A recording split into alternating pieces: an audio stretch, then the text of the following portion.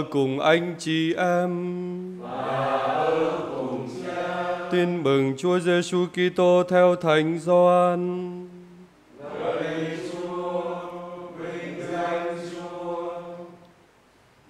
Khi ấy Đức Giêsu nói với người Do Thái rằng: Tôi chính là mục tử nhân lành. Mục tử nhân lành hy sinh mạng sống mình cho đoàn chiên.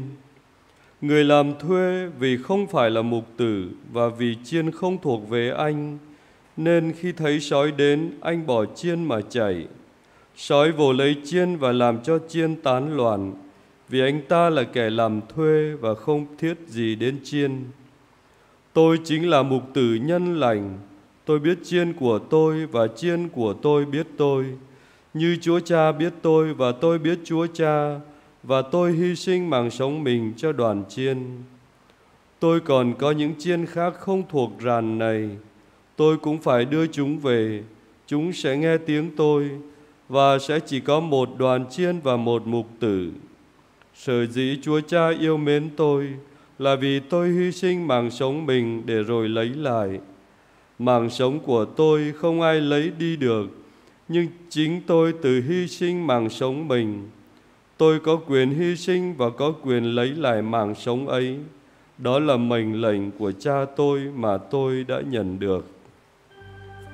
Đó là lời Chúa.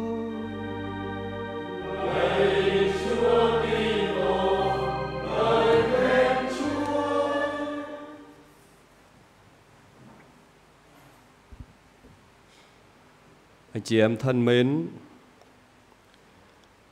có một người bạn không có đào thắc mắc rằng, tại sao người Kitô hữu các anh được gọi là những con chiên? Có phải như vậy thì quá là hạ thấp phẩm giá người ta hay không? Hay như vậy là để cho mấy vị cầm quyền dễ bề cai trị? Còn những kẻ ghét đào thì dựa vào đó mà xuyên tạc rằng Kitô hữu được gọi là những con chiên vì họ ngây thơ, nhẹ dạ, cả tin. Sự thật có phải như vậy? Anh chị em thân mến, để giải đáp những thắc mắc đó, chúng ta trở lại với bài tin mừng hôm nay. Trong bài tin mừng theo Thánh Gioan chúng ta vừa nghe danh từ chiên và mục tử được lặp lại rất nhiều.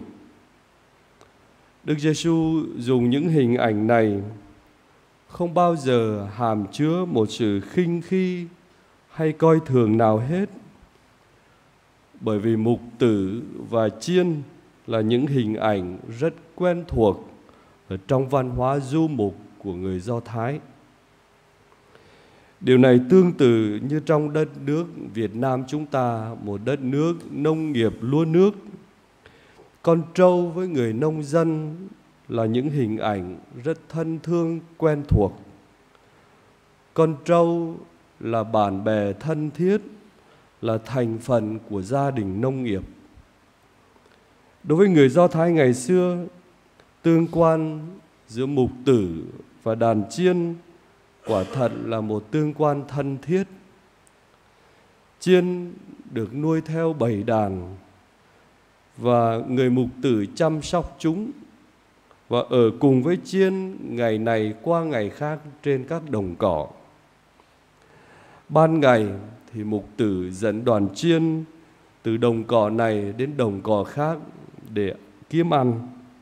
Ban đêm nhằm để tránh trộm cướp, tránh thú hoang hay là mưa gió, các mục tử cùng nhau lùa chiên vào chung một chỗ được gọi là ràn chiên.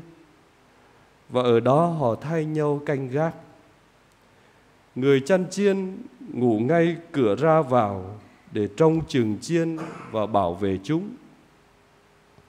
Đến sáng, mỗi mục tử đến cửa ràn chiên, ra hiểu hoặc là bằng cách huyết sáo hoặc là dùng một âm thanh quen thuộc nào đó để chiên của anh tức khắc nhận ra anh và đi theo anh mục tử và đàn chiên vì thế gắn bó và biết nhau cách mật thiết Do đó chúng ta hiểu điều mà Đức Giêsu nói trong tin mừng hôm nay. Tôi biết chiên của tôi và chiên của tôi biết tôi.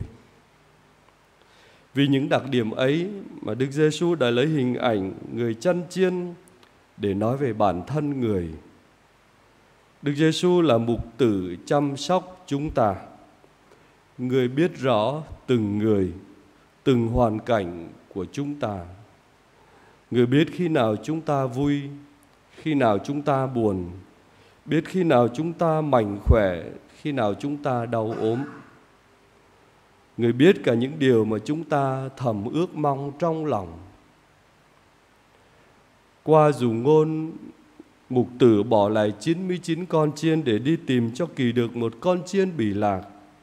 Đức Giêsu cho thấy người chăm sóc chi ly từng cá nhân một và không muốn bất kỳ một ai phải hư vong, phải lạc mất, phải xa đàn.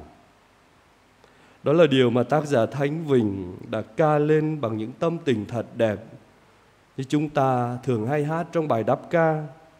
Chúa là mục tử chăn dắt tôi, tôi chẳng thiếu thốn gì. Trong đồng cỏ xanh tươi, người cho tôi nằm nghỉ. Người đưa tôi đến dòng nước trong lành và bổ sức cho tôi. Dẫu qua lũng âm u tôi sợ gì nguy khốn vì có Chúa ở cùng. Thưa anh chị em, khi nhìn nhận Đức Giêsu Kitô là mục tử, có nghĩa là tất cả mọi thành phần dân Chúa, từ giám mục đến các linh mục, tu sĩ nam nữ, giáo dân, chúng ta đều thuộc về đàn chiên của Chúa Kitô. Mỗi người tuy phần vụ có khác nhau trong giáo hội, nhưng đều là anh chị em với nhau trong cùng một ràn chiên của mục tử duy nhất từ Giêsu. Vì thế chúng ta được mời gọi sống cảm thông với nhau, nâng đỡ nhau, tha thứ cho nhau. Bởi vì chúng ta cùng chung một vận mệnh mà nói theo kiểu của người Việt Nam chúng ta đó là gà cùng một mẹ chớ hoài đá nhau. Mặt khác, khi suy nghĩ về phần vụ mục tử, cách riêng chúng ta nhớ đến các hàng giáo phẩm các giám mục, linh mục, các vị chủ chăn mà Chúa Kitô đã trao phó cho các ngài quyền chăn dắt, cai quản và giáo huấn thánh hóa dân Chúa. Hẳn đây là một phần vụ rất quan trọng và khó khăn mà các ngài phải gánh vác.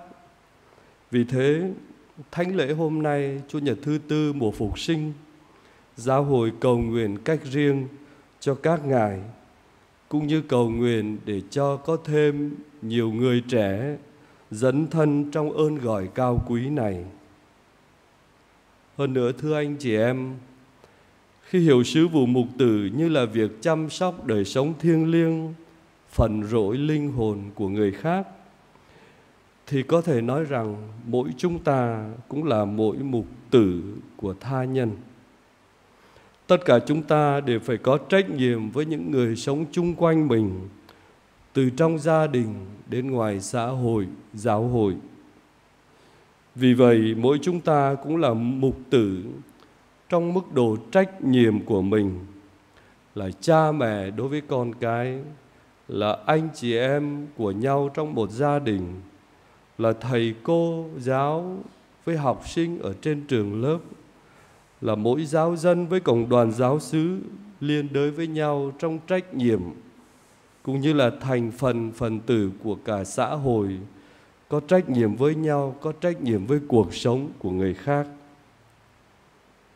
Nhưng để có thể chu toàn được sứ vụ này, chúng ta được mời gọi, hãy lấy chúa làm gương mẫu cho đời mục tử của chúng ta.